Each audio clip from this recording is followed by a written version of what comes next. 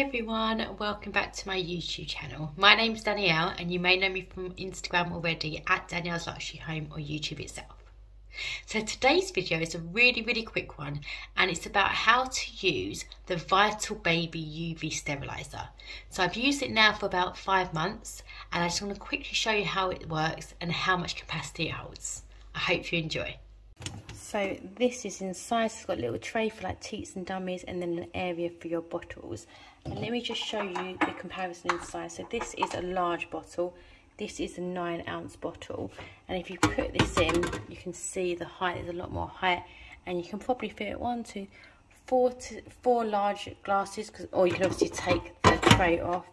Um, so you can probably fit nine bottles inside of here. So it's really, really roomy. And what you do is depending if they're wet still from soapy water you close the lid and you click auto and what that does it dries it and then sterilizes it straight away. So that's 41 minutes.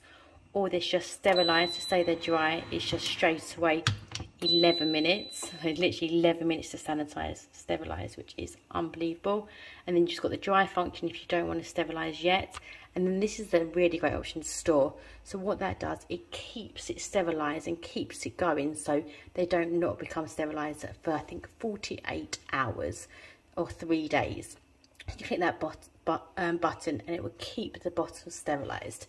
And I absolutely love it if you've got any questions feel free to put the comments below um, but I definitely definitely recommend and it's definitely definitely worth the money so I've just filled up the sterilizer with two large bottles, three small bottles and five teats and the holders.